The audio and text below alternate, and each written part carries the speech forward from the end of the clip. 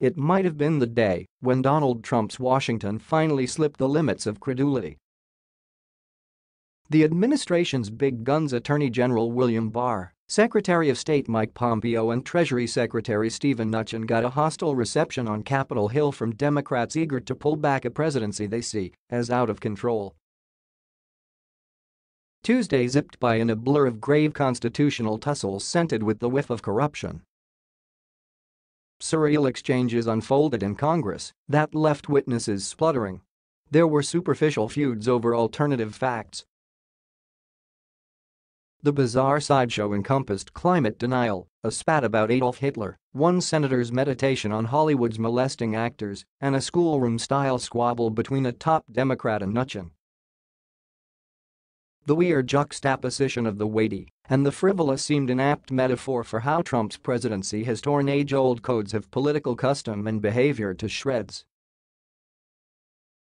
In the odd new normal of the Trump era, several top cabinet officials found themselves answering questions about topics that would have seemed unthinkable in more conventional times. Barr faced a grilling over his conclusions about the most serious investigation into presidential conduct in years and a report by special counsel Robert Mueller that Americans have yet to read. Mnuchin was beating back demands for the release of Trump's tax returns after the president bucked tradition and refused to share them with Americans. Both men left serious questions unanswered that offered ample evidence of the Trump administration's allergy to scrutiny, which is knotting up the political system. Their intransigence offered a reminder that while Democrats in the House now have the duty of oversight after the midterm elections, making effective use of their power is far from easy.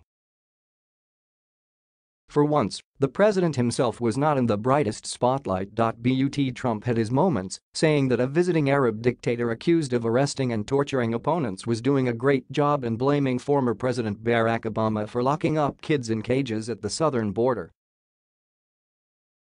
More than anything, though, a day of barely suppressed tensions, flaring mistrust and a disconnect between foes who barely share a common political language exemplified the effect the 45th president has had on the culture and character of Washington.